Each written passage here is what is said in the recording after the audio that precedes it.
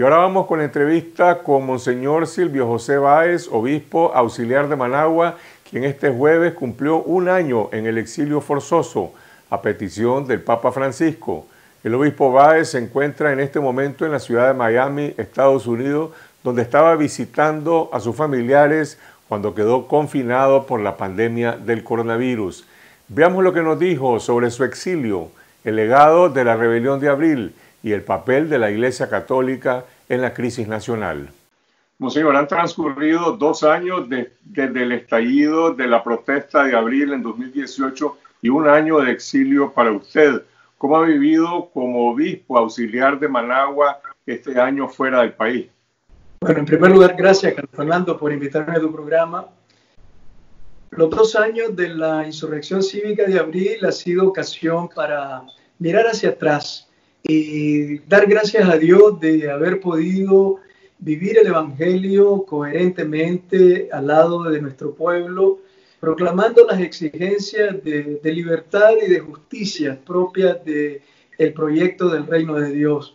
Yo lo he vivido con una, eh, una gran coherencia de mi parte, intentando eh, manifestar lo que llevo en mi corazón, viviendo de cara a Dios y de cara a la gente. ¿Cómo ha pasado este año de exilio? Ha estado en Roma, en España, en distintos países, en Miami, pero hasta donde conocemos el Santo Padre no le asignó una misión específica. Desde que salí de Nicaragua he tenido con eh, el Papa al menos tres o cuatro encuentros muy cercanos, muy afectuosos. Él en todo momento lo que me ha manifestado es no quiero que te exponga, no quiero otro obispo mártir en Nicaragua. En este año yo he estado prácticamente sin ninguna misión concreta de parte de la iglesia y no he estado eh, fijo eh, en Roma precisamente por este mismo motivo. Entonces he pasado varios meses en Irlanda, en España, estuve también en Perú, y, bueno, también en Roma algunos meses. En este momento eh, estoy a, siempre a disposición del Santo Padre que me ha dicho que, que, lo que él quiere es que en este momento yo no llegue a Nicaragua porque no ve las condiciones para, para poder desarrollar el ministerio eh, sin correr riesgos. Ahora, durante la rebelión de abril hubo varios momentos en los que Usted fue objeto de ataques, de campañas de parte del gobierno en algunos momentos, incluso desde el más alto nivel. ¿Hubo algún hecho particular que indujo al Santo Padre a solicitarle que se retirara de Nicaragua? Cuando él me comunicó su decisión, no me habló de ningún momento en particular. Yo creo que él hizo una valoración de todo lo que la iglesia había vivido en, en el 2018 creo que no fue un, solo evento. Ciertamente eh, las amenazas de muerte que el gobierno de los Estados Unidos denunció eh, fue un momento importante, pero en realidad creo que no se reduce solo a eso. Creo que fue eh, todo el conjunto de, de la experiencia del 2018 la que al Papa le llevó a tomar esta decisión. El Papa se refiere a usted cuando han conversado como un obispo exiliado. ¿Qué quiere decir el obispo Silvio Báez en el exilio? Yo nunca había querido utilizar ese adjetivo, sobre todo porque al inicio creí que el regreso iba a ser eh, pronto, que iba a durar poco tiempo estando fuera. Pero en una ocasión fue el mismo Papa Francisco el que en tono tal vez medio en broma, me dijo, bueno, un obispo en el exilio. En aquel momento como que tomé más clara conciencia de lo que significaba mi, mi condición eh, estando fuera de Nicaragua. Em, yo creo que el estar en el exilio es una experiencia no solo dolorosa, sino sumamente enriquecedora. Y me siento muy honrado de poder, en cierta manera también, compartir la inseguridad, la incertidumbre que viven muchos de nuestros hermanos fuera del país.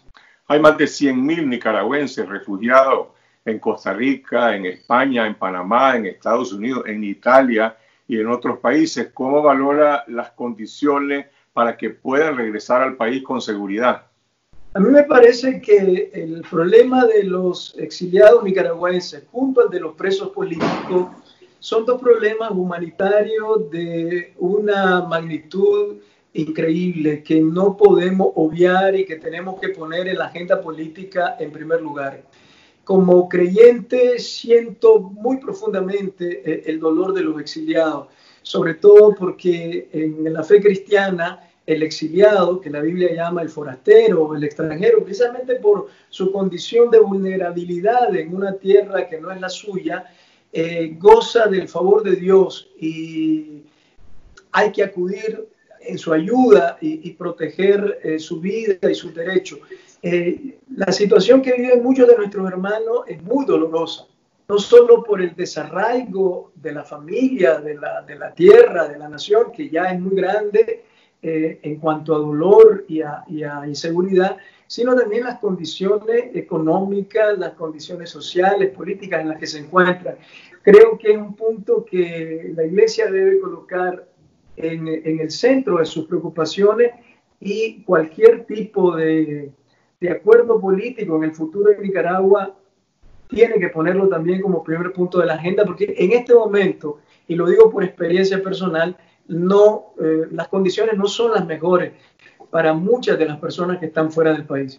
Monseñor, mucha gente pregunta qué dice el Papa y el Vaticano sobre la persecución que ha desatado el gobierno de Nicaragua en contra de la Iglesia Católica. Ha habido ataques contra los templos, persecución a sacerdotes, usted mismo ha sido víctima de esto y la gente dice, pero ¿por qué no se escucha un pronunciamiento de solidaridad del Santo Padre o del Vaticano o una denuncia contra el gobierno de Nicaragua para frenar estos ataques contra la Iglesia? Mira, yo en las eh, ocasiones en que me he encontrado con el Papa, hemos hablado sobre la situación de Nicaragua y sobre los riesgos que corre la iglesia, los obispos, los sacerdotes, las comunidades cristianas. Yo lo que te puedo decir es que él escucha, escucha, hace una que otra pregunta, sí, creo que toma nota y, lo guarda como, como trasfondo para, para ir armando el, el mosaico de la situación de Nicaragua. Eh, el por qué luego no se manifiesta en modo abierto, claro, como muchos quisieran, yo no te podría dar la razón. Lo que sí te puedo decir es que el Papa es consciente de la situación eh, de Nicaragua y de la situación de riesgo que vive eh, la iglesia y concretamente las comunidades cristianas. Usted ha hablado en algunas ocasiones de una iglesia profética y por el otro lado la diplomacia dentro de la Iglesia o de la Iglesia también como el Estado Vaticano. ¿Cómo, cómo se, cómo se proyectan estos dos, estas dos acciones en el caso de Nicaragua y en su propia persona? Mira, son dos dimensiones de, de la Iglesia que son muy difíciles de armonizar. Eh, hay que tener en cuenta que el Vaticano es un Estado es un Estado que tiene que tener buenas relaciones con los Estados, precisamente porque a través de estas buenas relaciones es que luego puede de cierta manera incidir, influenciar, mantener un canal abierto con, con, los, los distintos países. Pero por otro lado está la iglesia pueblo de Dios, la iglesia sacramento. Entonces, por una parte eh, está la dimensión diplomática del Estado Vaticano y por otro lado está la dimensión profética del pueblo de Dios acompañado de sus pastores. Hay que mantener obviamente las dos dimensiones porque el Vaticano también es, eh, es parte de la iglesia. Lo que las conclusiones a las que yo he llegado es que las iglesias locales, las iglesias que están eh, en, determinados, en, los, distintos países, en las distintas diócesis, no pueden asumir como propia la dimensión diplomática que es propia del Vaticano. La dimensión profética es mucho más propia de las iglesias locales, de las diócesis, de los pastores en, en las distintas diócesis y de las comunidades cristianas. Cuando yo digo una iglesia menos diplomática y más profética, lo que estoy queriendo decir es que nuestras iglesias, nuestra comunidad cristiana, nosotros como pastores, no asumamos como estrategia pastoral lo que es una política propia del Estado Vaticano. ¿Cómo valora usted la situación en que se encuentran los obispos en Nicaragua y la iglesia a raíz de este año de exilio eh, que ha vivido usted. Por ejemplo, recientemente Monseñor Álvarez en Matagalpa convocó a un plan de prevención del coronavirus y el Ministerio de Salud se lo prohibió. ¿Puede el Estado de Nicaragua impedirle a la Iglesia practicar una función de solidaridad como parte de su propia doctrina social? Las relaciones, creo yo, entre eh, la jerarquía de la Iglesia y el régimen en Nicaragua se dañaron muchísimo desde mediados, finales del 2018. Y bueno, yo no he estado allí, no tengo información, mucha información de primera mano, pero yo creo que las relaciones están un poco dañadas, un poco distantes, un poco frías. Me refiero a, los obispos, a los sacerdotes, a las comunidades cristianas. Eh, una de las dimensiones de la misión de la iglesia, además de anunciar el Evangelio, de celebrar los sacramentos como eh, eh, memoria de Jesucristo, es la caridad, la solidaridad, el, hacer el bien, porque esa es otra dimensión, la promoción humana, es parte de la evangelización. Y creo que un régimen no tiene derecho a prohibir y a evitar que se haga el bien. No se puede, no, no, no es correcto, atenta no solamente contra, contra la lógica humana que, que, frente a la cual esto parece absurdo, sino que un atentado contra la libertad religiosa, porque es parte de la misión de la Iglesia la promoción humana, la atención a los más desfavorecidos, las obras de caridad. De hecho, Caritas existe para eso. Y cada diócesis está organizada en estas tres dimensiones. Anuncio de la palabra, celebraciones sacramentales y caridad, solidaridad y obras de promoción humana. Esto, aunque no parece, es un atentado contra la libertad religiosa en Nicaragua.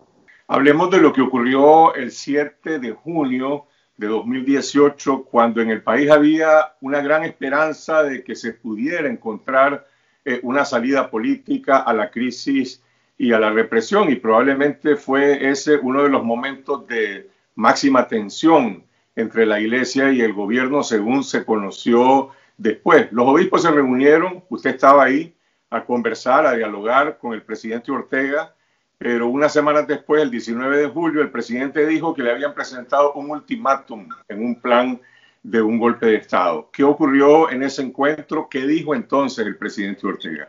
Mira, a inicios de junio los obispos nos habíamos dado cuenta ya que el diálogo que había iniciado el 16 de mayo era un callejón sin salida, que no íbamos a llegar a ninguna parte. Y por otra parte, la represión arreciaba, eh, ya comenzaban eh, eh, los presos políticos, eh, la gente seguía siendo perseguida y continuaban los asesinatos. En aquel momento los obispos tomamos una decisión, fue vayamos a hablar cara a cara con los que están al frente de este régimen. Y fue una decisión nuestra el pedir una audiencia con Daniel Ortega y Rosario Murillo. Nos recibieron en la Casa de los Pueblos una tarde los obispos me pidieron a mí que, que yo hiciera una presentación de la realidad y a mí me tocó delante de ellos dos contarles, en cierta manera, lo que estaba ocurriendo en la calle, lo que la gente decía y el juicio que nosotros habíamos hecho, de que si ellos hubieran reaccionado ante las primeras protestas en un modo más racional, más dialogante, eh, más abierto a escuchar, quizás no hubiéramos llegado a lo que en ese momento eh, estábamos ya eh, lamentando con una inmensa cantidad de gente asesinada en las calles. Entonces, me atreví a decir, ustedes son los únicos responsables. Aquí somos nicaragüenses y, sabemos muy bien que, los que están en este momento actuando en las calles contra la gente desarmada son paramilitares de ustedes. Eh, incluso les hablé de las torturas que ya se estaban dando en las cárceles porque tenía información de primera mano de chicos de nuestra parroquia que, a los que se les estaba arrancando las uñas y sufriendo eh, otros castigos atroces. Eh, después que yo hablé, ellos escucharon muy atentamente, con una leve interrupción en algún momento, pero escucharon atentamente. Después, Monseñor Rolando Álvarez presentó un, un escrito que los obispos habíamos preparado, en donde recogíamos no algo nuestro, no era una creación nuestra, recogíamos un poco el sentir del, del diálogo nacional. era un, itinerario hacia las elecciones. En ningún momento pedimos la renuncia de, de Daniel Ortega, por lo tanto no puede ser considerado como un golpe de Estado institucional. Lo que presentamos fue un itinerario con fechas concretas para una salida constitucional y pacífica.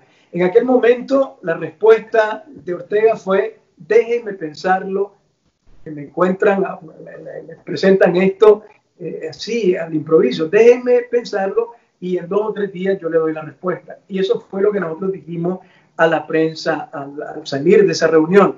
Ya el 19 de julio eh, las cosas se habían salido de su curso y empezó la, la narrativa eh, falsa de ellos del golpe de Estado y atribuirnos a los obispos acciones que nunca hemos cometido.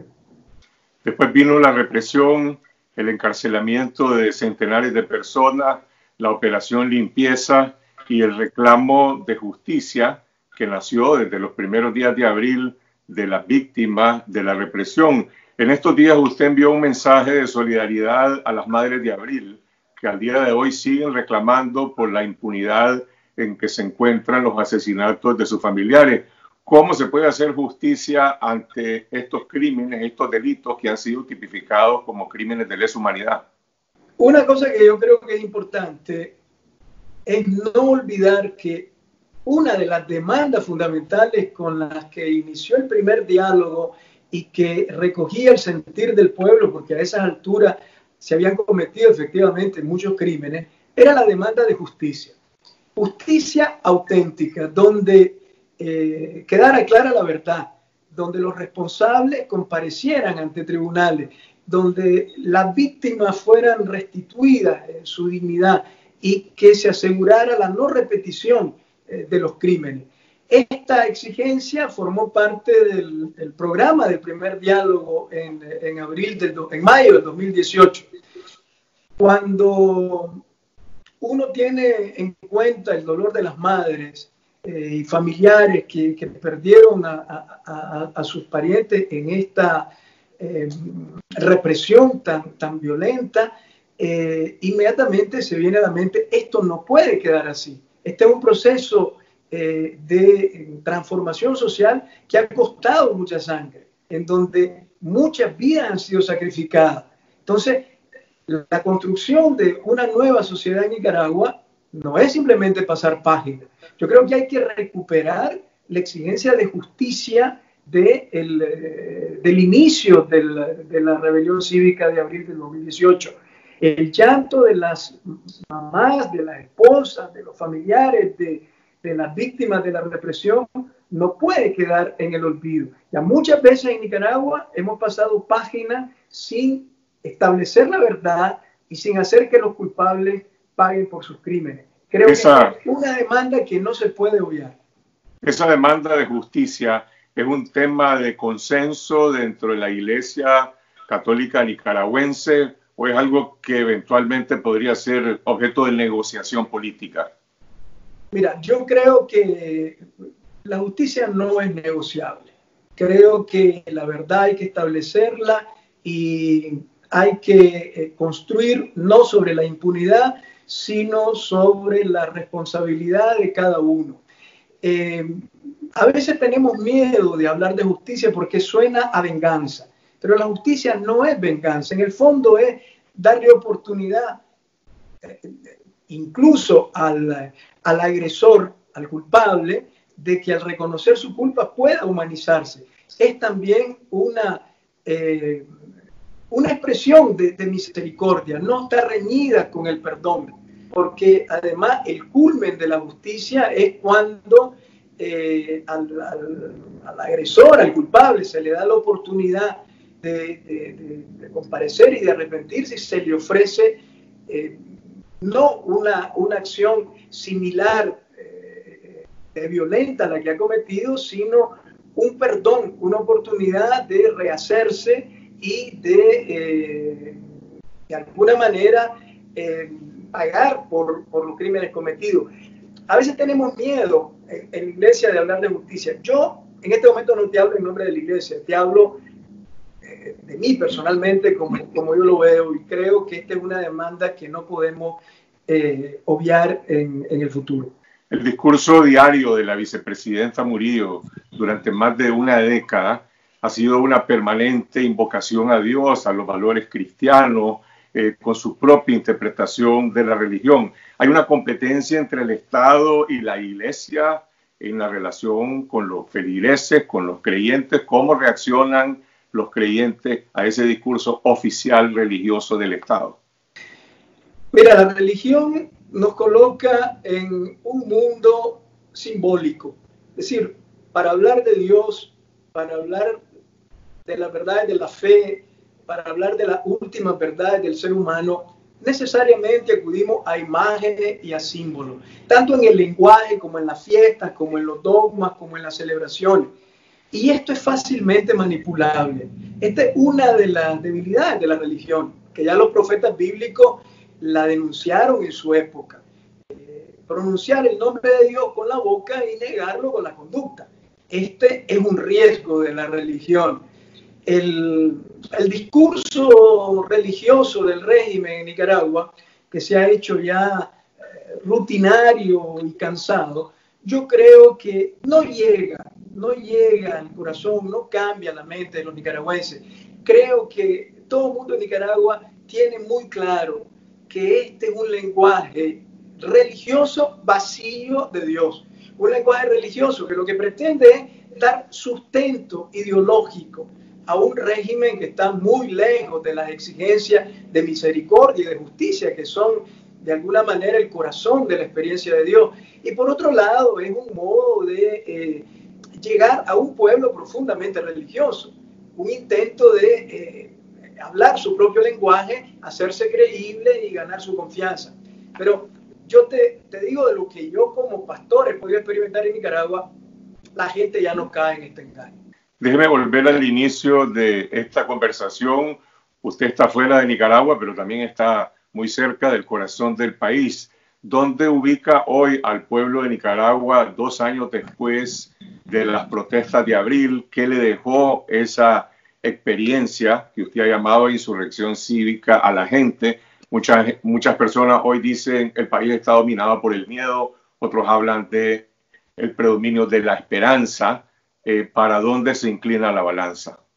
Mira, yo creo que la experiencia de la rebelión cívica de abril del 2018 nos hizo redescubrir algo muy importante, y es que el pueblo es el sujeto de la historia y que cuando el pueblo se organiza y decide el rumbo de la historia, lo puede lograr. Sobre todo, la historia nos enseñó que esto se puede lograr en modo pacífico. Y creo que hay que seguir manteniendo esta estrategia. Indudablemente que frente a un, a un régimen monstruoso, su capacidad militar y también económica, eh, pareciera que aquella experiencia quedó frustrada pareciera que no hay nada que se pueda, que se pueda hacer ahora. Yo creo que, en primer lugar, hay que mantener vivo el espíritu de abril de 2018, donde no hubo violencia, pero sí hubo un consenso nacional, más allá de ideología, más allá de clases sociales, más allá de los egoísmos personales de cada quien.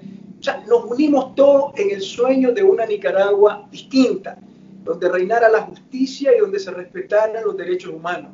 Entonces, ese espíritu es el que hay que recuperar. Ahora, de cara al futuro, es verdad que se perdió el miedo en, el 2018, pero el miedo no se pierde de una sola vez.